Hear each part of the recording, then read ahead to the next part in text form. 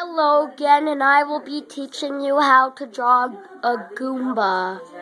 You will need something to write with and a piece of paper. The first step, draw a triangle with round corners.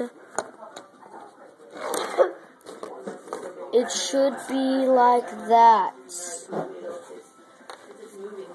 and then draw two oval shapes like that. Then draw some rectangle shape like that. And then draw two eye shapes like that. Then draw the pupils inside like that.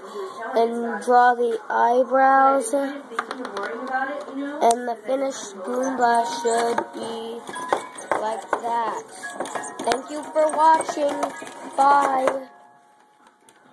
I did a jack in the